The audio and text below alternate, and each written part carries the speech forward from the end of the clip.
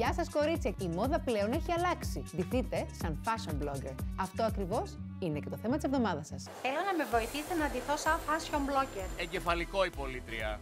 Αλλά για fashion blogger πρέπει να ξεφύγεις από το στυλ σου. Φωτιά στα κόκκινα είσαι ούτως ή άλλως. Αγαπημένο, μα αγαπημένο κομμάτι, μπράβο. Είναι τέλειο, wow! Η απλότητας σε όλο της το μεγαλείο. Έτσι λέω και την καράφλα μου. Σου πάει τέλεια. Καλά, τι έχετε πάθει όλοι με το Leopard; Boring. Α, Όλα έχουν να κάνουν με το τελικό σουτάρισμα, ναι. Shopping Star. Σήμερα στις 4.